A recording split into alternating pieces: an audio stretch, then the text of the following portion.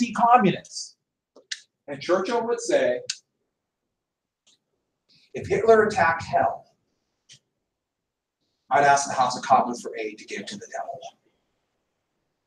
And that's a pretty good way of saying the enemy of my enemy becomes my friend. Whatever it takes to win the war. And so they all begin to help Stalin or help the uh, the Soviet Union. But back to this. Stalin was furious at Soviet blood was being shed, and he wanted them to attack here to com- so the Germans will be basically squished two ways. Well, the Western Allies weren't ready. That's why we had that video where they said they attacked North Africa first, and then eventually they would decide to go into Sicily and Italy. Mussolini's government would collapse, but Germany still held out Italy here for the rest of the war. It turned out to be a terrible place to fight. And they did not open a second front for the most part. but there was a version of a second front. Both the United States and the British began to heavily bomb Germany. And we call this type of bombing strategic bombing. Remember, tactical, short term, one decision on the battlefield, strategic, long term. And this is an element of total war. They begin to bomb major German cities and industrial areas. Remember, I told you about why do you want to take the war to the enemy's home? Knock out their industry, knock out their fuel, break their morale so they want to quit fighting and then tear. And this also would be revenge for the Blitz. Terrify German cities, German civilians.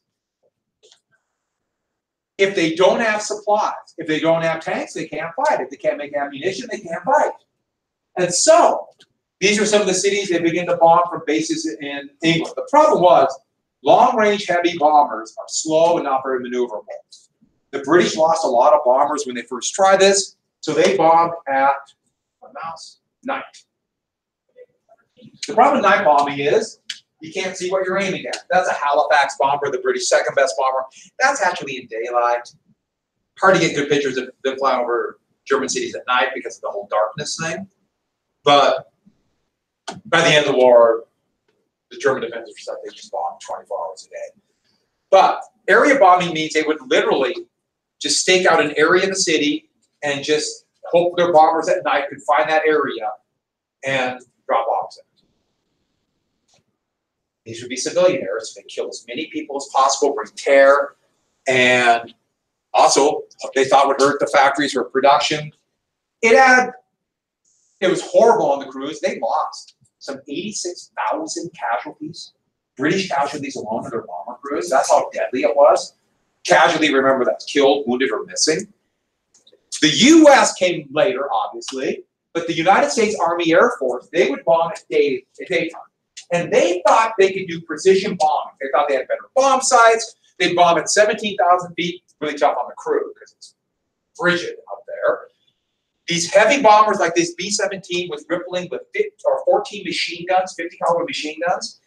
They thought if they're all flying together, these big groups, not only would the bombs all be in one spot, somebody's got to hit the target if they're close, but keep away enemy fighters, it didn't work. They lost a lot of B-17s, 46,000 American bomber crew would be killed over German. It's actually unreal how many died, because just don't think about it. You think about land war, how many people died, and how many died over the strategic bombing. It didn't work. German fighters really shot them down easy, much easier than they thought it was going to happen. In fact, it wouldn't be to an invention of a weapon, and this is one of the few weapons I do want to tell you about because it's probably one of the most decisive weapons in the history of warfare. The greatest fighter plane ever made British engine, put in an American design, so really allied effort. Anybody know this plane that had enough range to fly from Britain, escort the bombers, and defend them over Germany and fly back? Greatest plane ever made. Yeah. Close. P-51. The P-51 Mustang, this sleek, pretty cool plane. A couple years ago, they had a air show, and a P-51 came in, and they they jerry rigged it so they could put another person in. They could take flights in it. I really thought about it, but it's pretty pricey. And also, my wife said no, not for money. This might shock you, but she also said those things crash all the time. And that's when I found out she actually kind of likes me. That's kind of nice. But here we go. They flew along with the bombers beginning in 1944, and two things had happened. First off, it actually didn't really do much to German industrial production. German industrial production kept rising all through 44. It actually did not destroy the factories the way they thought. It didn't quite work the way they thought, but it did one thing that was decisive. It destroyed the German Air Force. Notice I put a line through it. Get it? See, Luftwaffe, line through it. Pretty creative, huh? Yeah. No one taught me to do that. I just knew to do that. Yeah, those planes just were better than anything the Germans could put up. The Germans actually had a chance to build a jet fighter that could have been decisive, but Hitler wanted it to become a fighter bomber, delayed it by a year. Who knows how things would have been different. But knocked out the German Air Force. But the thing was, the bombing still didn't work. Even by the end of 44, they're bombing German cities pretty much at will. But going into 45, they're desperate to end the war. Remember Sherman's March to the Sea? Now, March to the Sea, they turned into South Carolina. And I told you about how wars at the end sometimes get the bloodiest they ever do in an effort by one side to get the other to quit. That's what's going to happen in Europe. Both sides begin, or both the British and the Americans would adopt firebombing. The British had already done it to a limited extent. One massive raid in 43 at Hamburg, and this is Hamburg right here. In one night, it shocking, or shocked the German people to their core. 45,000 civilians died in Hamburg in one night. The problem was, oh, and this is uh, in 45, they did this to Berlin in February of 45. Berlin is going to be just devastated. And that's before fighting it, house to house fighting with the, the Soviets would take it in at the end of April of 1945. Yeah, the German civilians would be crushed by this. It was devastating. But that actually made the Germans fight harder.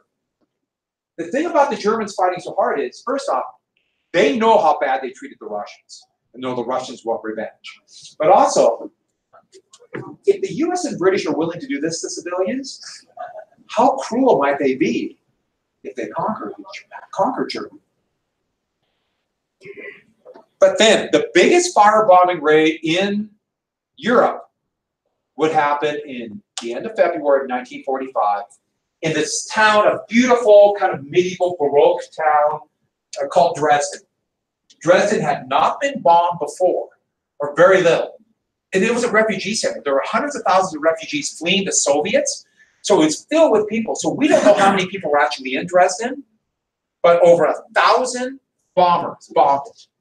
British bombers bombed in at night, and Americans came into the day, partially to get to knock out the fire crews. The fires would rage. And they destroyed Dresden. And the thing about Dresden is, this happened other places too, but this was the biggest up to that moment, what they call a firestorm. Some of you might have heard this term. So, you know, fire, the first place would come in and they would drop heavy bombs, trying to create kind of rubble, um, like get buildings to kind of shatter and splinter, and then drop the incendiary bombs. White phosphorus and the brand new, developed by the DuPont Corporation called napalm. You know what napalm is? It's got a gasoline and and what? Yeah, it burns until it runs out of oxygen or fuel. Uh, uh, gasoline, phosphorus, a couple of things. I'm not going to tell you how to make napalm. Somebody would find it. But they began to bomb. They created rubble, and then the bombers came with napalm in the center. And they started burning this fire. The fire got bigger as it spread, and, and small fires growing together. And the thing is, fires require oxygen. So it started sucking in oxygen. As it sucked in oxygen, it got hotter, and then sucked in more oxygen. And it would begin to kind of explode on itself, kind of in a big circuit, and get even bigger. And it began to suck in oxygen so fast, it basically creates its own weather pattern. And wind would start blowing, sucking into the fire over 100 miles an hour, which would fuel over a thousand degree fire. It got bigger bigger bigger until it literally ran out of fuel. They found thousands. So the Germans after were going through the rubble. They found thousands of civilians who made it to shelters that weren't physically injured, except for the fact that they asphyxiated because of the firestorm sucking the oxygen. Just thousands all sitting in these bomb shelters underground. They dug them out. They just found, so Dresden was destroyed. And when this, uh, after the war, they just kind of did a quick, hasty rebuild. So they started rebuilding again in the late 90s. They're still doing it right now. I was there in 2009 with just like one big construction. So I'm trying to make it like it was before World War II. And five years ago, they found four families that had gone down to a shelter. They found them, and then they they, they were asphyxiated. They got covered up by rubble, and no one found them until rebuilding. About 2000, I think it was 2009 or 2010. Just all mummified found underneath. And so we don't know how many. When I was your age, the talk was like 80,000 people, maybe 90, maybe 100. We think it's closer to about 50,000, but we just don't know because of the refugees. But Dresden was a slaughter. Something you need to know about Dresden that's really important, and it applies to your DBQ, let alone the reason they dropped the atomic bomb. Dresden was going to be in the Soviet occupation zone. The Soviets just beat the Germans. The Soviets look like a country that might not want to stop.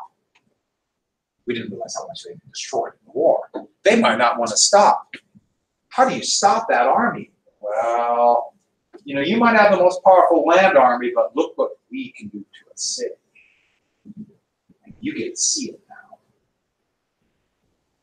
They talked about this. We're going to show the Soviets what we got. And they're hoping to end the war faster. Did it end the war faster? No, not really. But while this is going on, Germany in the final offensive would surrender May 8th. Like I told you, tomorrow I'll do some of that because I wanted to make sure I get this in. But against Japan, while this is going on in Europe, what do they call that operation where they would attack, like at first, uh, Guadalcanal, where they skip strong points, Japanese strong points? Island hopping. And that's what they've been doing. So Guadalcanal, they skip to Bougainville. They call it leapfrogging, where they advance across New Guinea. And soon these areas here in red, those have been surrounded by 1945, early 1944. They would attack and reconquer the Philippines. But the thing is, Japan, the men fought to the bitter end. Every island, casualties, sometimes the casualties were not as high, but they were appallingly high still. And even though the Japanese army, in fact, here um, the army was running out of men and equipment, the carrier fleet was destroyed at a place called, a battle called the Philippine Sea, and they were basically militarily defeated by 45. In the biggest naval battle in history off of the Philippines, the Japanese attempt to stop that invasion was destroyed in a bloody battle that would pretty much wipe out the remnants of the Japanese fleet. And by 45, the US was attacking Iwo Jima and Okinawa. On Iwo Jima, an island smaller than the Helena Valley, the Japanese had 22,000 defenders on this island that was basically a volcanic island, a volcano and ash. I guess it was still steaming and there were vents. I guess the ash was about 110 degrees. Can you imagine fighting in that? And it's going to be extremely hot anyways on that island. 22,000 they fought for a month. Each tunnel or spider hole in the mountain, the volcano called Mount Suribachi, had to be rooted out one by one. All but 200 of those Japanese had to be killed to take that island. On the Philippines, they used for the first time, yeah. What island was that again? Iwo Jima. And that's the one I told you had the you know, Iwo Jima and the and the thing about it is, we're thinking, wow, how are they going to, or how long are they going to, um, if we have to invade Japan, how are they going to fight? And they started first in the Philippines, but then they would use thousands of these at Okinawa. They were out of oil, out of fuel. They couldn't train pilots. And yet, they wanted to show the United States that look how we fight. Look how many we are going to kill. Make peace terms. Don't make us totally surrender. Give us peace terms. What was that weapon? Then they would use thousands at Okinawa. Using the code of Bushido, it was kamikaze. Now, actually, the Japanese called it self bomb, but they gave it the term kamikaze because that was a typhoon that knocked out a Chinese invasion fleet on the way to China or on the way to Japan 500 years ago. But what the kamikazes were were pilots trained just enough to take off and steer their planes. And the idea was they would fly these into American planes. And this was terrifying. The American planes were rippling with anti-aircraft guns. Or American fighter planes shot down almost all of them. But it's hard to find somebody who will not turn back rationally. The idea being, okay, I'll turn back and fight another day. How do you fight a suicide bomber? Who's already said, I'm going to die. And they just kept coming. And so this would make it even more terrifying with the implication how many more of these kamikazes might there be? And here is the USS Hancock, an American carrier that was hit by a kamikaze and nearly sunk. This was kept secret from the American public, but at Okinawa alone, over 39, well, I'm sorry, not over, 39 American ships were sunk by kamikaze. This was a terrifying weapon. Now, why did they do it? Not to win the war. Remember what they're trying to do convince the Americans it's not worth it anymore. But also, what a complete act of desperation. What a complete act. So, as Japan gets pushed back, the United States also began bombing. Anybody know what plane that is? One of the most expensive armed programs in history. We spent $2 billion at that time, that's about $32 billion today, just to develop that plane called the B 29 Super Fortress. It was only used in the Pacific. It could carry 12,000 pounds of bomb, 3,000 miles. And it could fly 30,000 feet. It was pressurized. They thought above Japanese defenses. And they thought they could precision bomb Japanese targets from bases in Guam, Saipan, Tinian, right here, and start bombing Japan. And so they begin to bomb. In fact, one of the things to take Iwo Jima was they could have fighter planes there. And they bombed Japanese cities. And it failed miserably. They couldn't hit anything at 30,000 feet. Japanese fighter planes, as it turned out, some could get that high and shot them down. And also, on the way this way, they discovered that they would always run into this headwind. 100 miles, 120 miles per hour. And you go into the headwind at 30,000 feet, their fuel would be used up and they had to turn around. They had no idea why there was this constant headwind that seemed to be going from east to west. Sometimes it'd be there, sometimes it would move. They had no idea what, what did they discover? The jet stream. They had no idea about the jet stream, which pretty much dictates our weather pattern. They didn't know that. And so it really messed up long range bombers. In fact, when they plot flights across the Pacific now today, they, they avoid the jet stream for obvious reasons. The Japanese knew about the jet stream. Did you know that? And they used the jet stream to attack the United States. Another one of those see what we're willing to do. You may know what they did? Oh, that's those little parcels. Whoops, there's Curtis LeMay. They used an American general bomb balloons.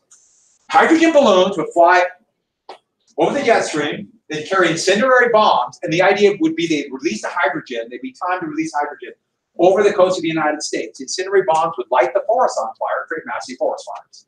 And maybe the U.S. would even have to send troops home to fight the fires. Okay, that's kind of ridiculous and not understanding the way the forests are here, but someone as far as Michigan. And so they used it. Well, Curtis LeMay was in charge of the American Air Force in the Marianas, 21st Air Force. Veteran of Europe, a hard fighting general who, I don't know if you noticed, but he liked to smoke. And he had to make this work. Just a few weeks, a couple weeks after Dresden and a few weeks after Berlin, what LeMay decided, what LeMay decided, we must do firebombing against Japan. High level bombing isn't working. And his crew really, the crews really resisted, but they took this plane that's supposed to go 30,000 feet, they'll go down to 10,000 feet. They'll fly at night and they'll pack them full of white phosphorus and napalm bombs and drop them on Tokyo. There's fire bombs right there. Those are the heavy bombs, create rubble, and see all these little bombs? And the thing about it was, is many of these Japanese, especially in Tokyo, a little bit further south on the island, since the climate is so moderate, the walls in many Japanese homes are wax paper. Wooden frame, wax paper, heavy roof in case of typhoon. Can you imagine what wax paper would do? And they thought about this. So they bombed at night almost 500 planes the first time, March 9th and 10th of 1945, they hit Tokyo. This is looking back from a, a gun, uh, tail turret of a B-29, looking back at the first fire bombs hitting that town. Soon it would create the biggest firestorm ever seen up to that time, for sure. Here's Tokyo after that attack. Much of it was completely flattened. This is just some of the thousands of bodies burned or asphyxiated by the firestorm. Storm. We don't know how many exactly were killed because they had refugee issues and various things, but it's anywhere from 100 to 120,000 people in one night. What happened to LeMay after killing that many civilians? Yeah, I got a promotion, got another star. And they began to firebomb every Japanese city. The only reason they didn't firebomb even more is they kept running out of bombs. They firebomb, run out of bombs, more bombs would arrive in the Marianas, firebomb more. And that's Osaka, which is the size of LA. Look at that after firebombing. That's firebombing. We're gonna jump right to this. Now this is kind of hard to read, um, but it's all the Japanese cities, and the, the percentage next to it, that is the percentage of the city destroyed. I don't mean bombed or damaged, I mean gone. And then in parentheses, they put a comparable size US city next to it. I think it's a really effective idea to let you know what happened from March of 45 all the way through the very end of the war. Hey, they did not quit firebombing just because they dropped two atomic bombs. So, for example, Tokyo is the size of New York City, so town of know, almost 8 million people. 40% gone. So there's Nagoya, the size of LA, 40% gone. Osaka, in LA is 3 million. Chicago, 2 million, 35.4% gone. They even have Tokyoama, the little factory there, but it's just they're running out of cities, so it bombed everywhere. The size of Butte, so about 30,000, half of it gone. The town of Toyama, northern Japan, where they built fighter planes, 99% gone. They firebombed everywhere. They killed hundreds of thousands of civilians. An unbelievable attack. And LeMay said, you let me keep firebombing, there'll be nothing left. We'll win the war. But there's two things about this. First off, they didn't quit fighting. They still would not surrender after losing this many. Think about how they fought on the islands. Remember that? That's why I put on Iwo Jima and Okinawa about. Think how they fought, and they still kept. They would not surrender technically. Oh, I almost forgot. There is one city that's not on there for firebombing. It's a really big city. It's not on there for firebombing. It's there for another reason. Hiroshima. Hiroshima was not firebombed. That was one city that LeMay was ordered not firebombed. If we do decide to use a weapon that's being developed in Los Alamos, New Mexico, they want to see what that weapon does. So they don't want firebombing to happen, so they wouldn't know which caused what. So it says forty-eight point five percent, that was the atomic bomb. So, one more thing about this, and this is important to understand about dropping the atomic bomb. And I think it is much more complex about it, but think about nineteen forty-five. We're trying to end this war.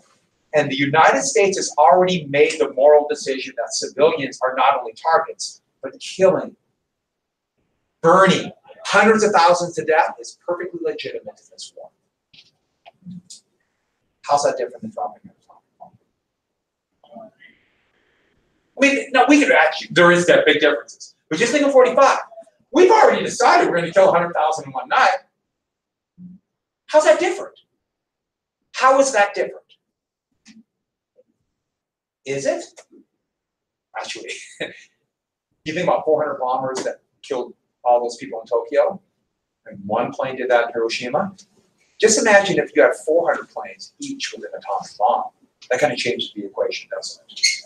But don't forget that. There 45. They've already made this moral decision. We're going to kill as many civilians as possible. What's the difference? So a better question is, did we need to do it to end the war? So that's another map of that. That one didn't turn out as well. So one more thing, American submarines. Submarines, not as highly publicized, not as exciting as aircraft carriers or battleships. The last bat- clash of battleships was Leyte Gulf. But American submarines, by the end of 43, when we got torpedoes that actually kind of worked, the first ones didn't work, they hit ships and bounced off. But they began to first patrol here, but then surround Japan each dot, the bigger the dot, the greater number of Japanese merchant ships sunk. By the summer of 45, and get this down, submarines like that had destroyed virtually the entire Japanese merchant fleet. That means all their transports, all their freighters, all their tankers. There's a Japanese, that's a pretty good shot from an American periscope, from a submarine, American submarine's periscope. Of a torpedo just hitting it and breaking the back of that ship. Remember un- unrestricted submarine warfare? The U.S. kind of went to war over that. World War One. The U.S. adopted it. Killed thousands of sailors. But here's the big deal: why that's so important. Remember, they took this so their tankers could carry the fuel. By the middle of 44, they could hardly get any tankers. This is what we got to get. By July of 45, Japan had about a month and a half, month and a half of fuel reserves left. A month and a half. They had three months of food reserves left. There is absolutely no way, everyone get this, no way Japan could have kept fighting past December of 45. There's no way. I'm not saying they would have quit. I mean, Bushido, and remember they told you how they killed all their prime ministers, but they couldn't have kept fighting. So maybe there are more reasons that we're already firebombing cities. So, with that, a couple of the wartime conferences we got to get. Casablanca. When the war was going on, there'd be conferences to decide at first how they're going to fight the war, and then the post-war world. The first conference, and I forgot to put who is here, but write this down: FDR and Roosevelt. Made a mistake on this. I was going to flash these two. It's going to be exciting, and I forgot to get the. Uh, no, we just leave it. And what? They decided a couple different things. Oh, did I tell you the date? You did, you said, uh, no, you didn't, but you said FDR and Roosevelt. Did I say FDR and Roosevelt? He's schizophrenic. And that was a problem. with Basically, we had two presidents. We had many presidents. FDR and Truman. I like this picture. All the people here signed it. That'd be pretty cool to have. That would be pretty valuable. And Roosevelt and Churchill signed it. Truman? No, I didn't. Want me to go into the tape? Okay, let's act like we, we're starting over. At Casablanca, in the fall of 1943, Roosevelt and Churchill would meet. Truman was just a senator from Missouri. Yeah. Casablanca was right here. By the way, it has nothing to do with one of the, it's considered the greatest or the second greatest movie ever made, Dumb and Dumber. And with that, no, Casablanca. And did anyone see Casablanca? It is a fantastic movie. Last year we watched it after the test and after we finished up. And it was a fun thing. And it's a it's such a good movie. If you haven't seen it, you will like it. Or you will not graduate. Just barely listening. Well, Dumb and Dumber is a little more sophisticated. So with that, here at this conference, this is what this is actually the, the press conference outside of this meeting. Roosevelt announced that the United States and Britain will accept nothing but unconditional surrender from Italy, Japan, and, and Germany. Unconditional surrender. Now it's partially because we don't want another like thing like World War One, where Germany was not totally defeated. And we figure very legitimately, Nazi Germany has got to be totally defeated. But there's another thing. They're not talking so much to Hitler, because they know Hitler's going to fight to the death. They're talking to Stalin. Stalin, they're terrified that Stalin might think the US and Britain will never open that second front. By saying unconditional surrender, they're telling Stalin, we promise to attack France. We promise. Don't you make a separate peace with Germany like you made a peace back in 39. So they're trying to tell Stalin, even though they haven't fully committed, we promise we will. That's why he did it. Now, you look at that and think, okay, that's a political measure, there's a logic to it. The problem is, now we're stuck to unconditional surrender. It makes perfect sense against Nazi Germany.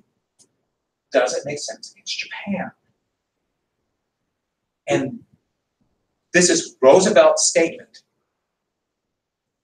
What if the president at the end of the war isn't Roosevelt? Roosevelt will die in April of 1945, have a brain aneurysm.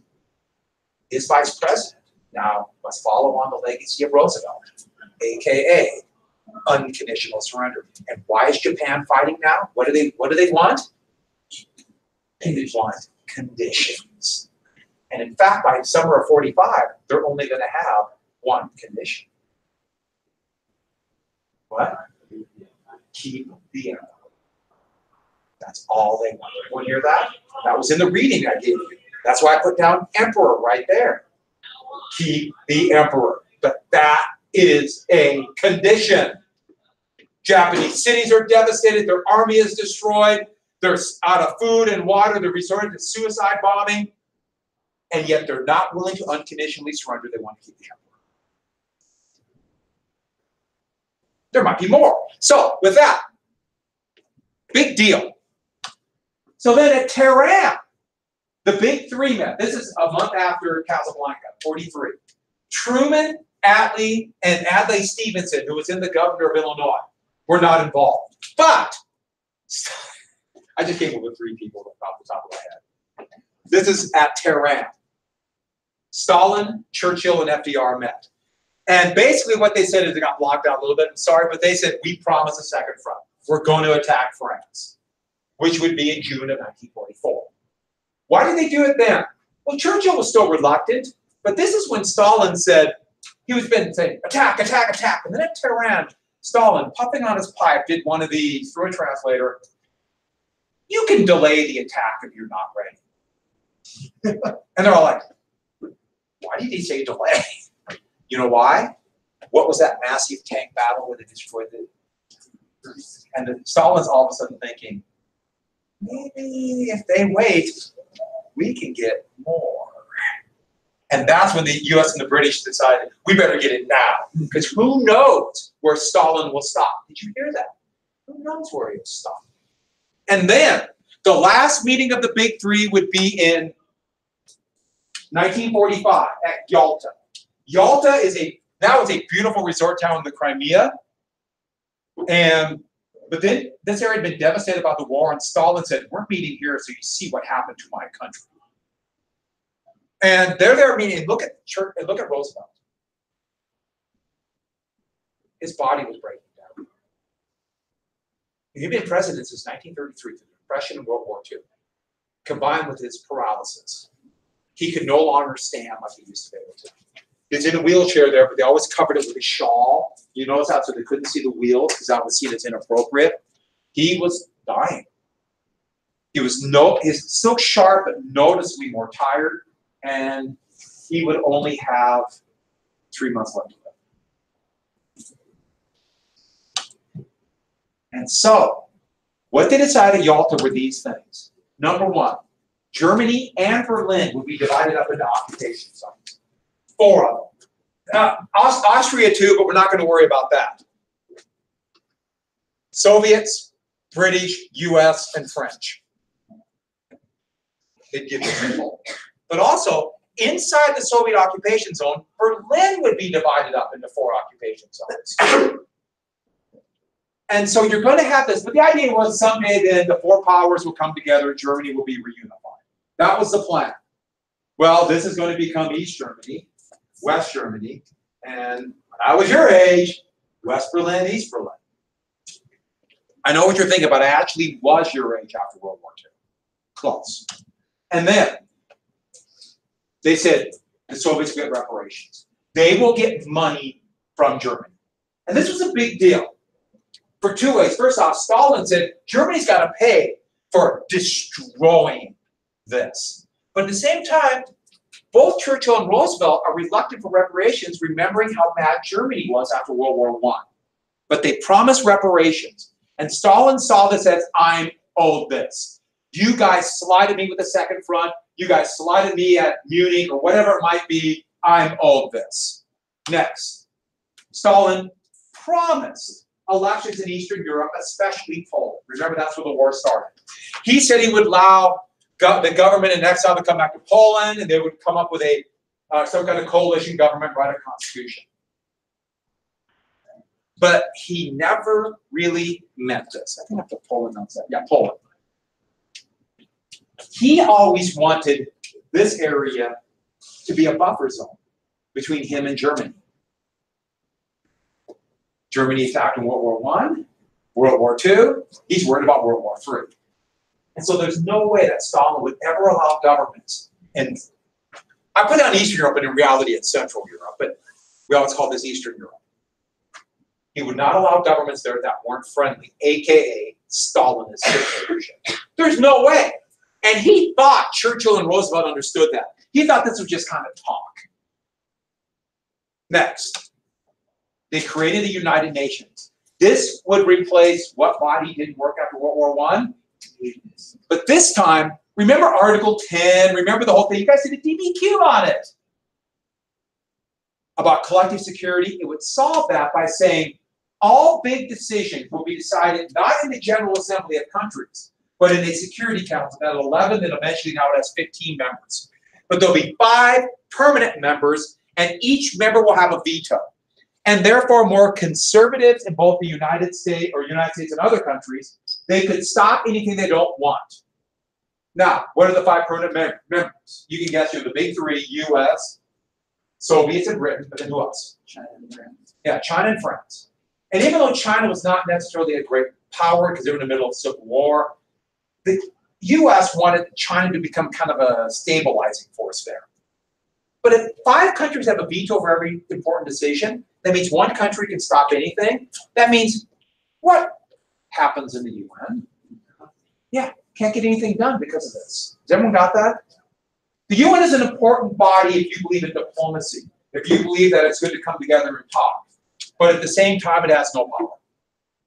It's it, it in a way, it was a broken promise. And then FDR is still worried about Japan. Japan, they thought, had two million men in China and Manchuria. And so the Soviets pledged they would attack Japan three months after VE Day. VE Day is victory in Europe. That's when Germany surrenders. That's just what happened to be May 8th, 1945. And they promised them islands. If you look up here real quick where I'm at, all of this island, some islands here, maybe something in Manchuria. But we all know if Soviets attack here, they're going to ask for more than just what that. They're going to ask for more. And so, with that, the Yalta Agreement was seen as successes first. But as the years went by, I'm sorry, the years, the months, and Stalin never allowed free elections. And yet now he occupies part of Berlin, and he is going to become a major power in Asia, Manchuria, China, and maybe even take part of Japan. More and more people started, more conservatives started comparing Yalta, saying it was another Munich, which is synonymous with, uh, and they'll talk about Yalta, Yalta, Yalta all the time, that they were fooled. And here's the thing about this. In January, they weren't sure. By May, Japan was about ready to surrender. By July, it was certain. Soon. May 8th. What day did the Soviet Union, Stalin, usually, surprisingly, oftentimes kept his promises? He did attack Japan. By the way, Japan had no idea. They were really shocked. What day? What day? August 8th. They attacked three months after. What day did the United States drop the atomic bomb on Hiroshima? The 6th. Two days before. We better get this war over before the Soviets come in. Remember, we're already firebombing cities. They're almost out of fuel. We know that. There'll be one more thing I have to tell you. And then the last agreement. Oh, yeah, we'll get to. Potsdam. But Potsdam's a lot different. Potsdam runs out of Berlin. You can go to this place. It's, it's pretty cool. And in it, now we have Stalin, and then we have Truman, the surprise choice to be FDR's last vice president, who was totally misinformed about what's going on. Churchill, here they are right here, arrived for the first day of Potsdam, but then he had to go back because he had the first elections in Britain since war began, and he was replaced with the labor leader, Clement Attlee. Now, Attlee was part of Churchill's government, knew everything that's going on. But so you can imagine how Stalin came in. He was the victor. He won World War II. He strutted around, he boasted, he bragged, he was the big shot. Infuriating Truman, who had a thing about trying to look tough. And he looked at these two and thought, Churchill and Roosevelt were titans. Attlee and Truman? And Potsdam was a big deal. First off, Britain and France, Britain and the United States would issue the Potsdam Declaration, telling Japan to surrender or what will happen to them. Yeah. Total and utter annihilation. They will be destroyed. But what would, how would you take that if you were Japan? What's already happening to your cities? Yeah. So what does that mean? They, in essence, said, we'll reconsider this later. The Americans took that as a snub. Next. About those free elections, Stalin informed Truman, you know, we're not going to have free elections. And there's nothing you can do about it. And Truman was furious. And so Attlee and Truman told him, uh, no reparations. And Stalin was furious. And you could argue this is the beginning of the Cold War. Oh, one more thing. Truman was born, I meant to put is born, the baby inborn. Truman was born by code, the baby is born. As we all know, we're overjoyed when the baby was born. In fact, in joy, he ran over to Stalin and said, The baby is born. No, what did he tell Stalin? The baby born was code for Trinity. Trinity was the code name of the test of the atomic bomb, and it worked.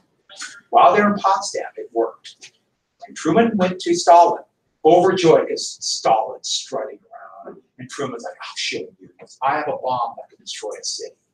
One bomb. And he expected Tru- or Stalin to be. And what did Truman and what did Stalin do? Puff on his pipe and said, Good, I hope you use it against the Japanese. Truman was so disappointed. Why did Stalin know? Had spies.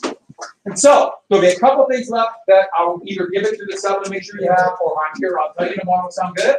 The DBQ will be on Thursday. Make sure you go through, look just one more time. How to write DBQ. I really want you to have fun with it.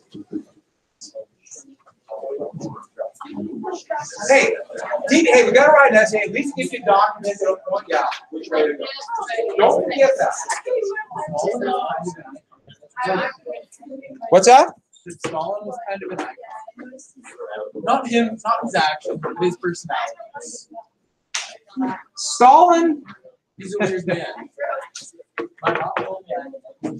Stalin is still the most popular leader the Soviets will ever have. Number two is Ivan the Terrible. What about Catherine the Great? Peter the Great? Tristan, say hi to the camera.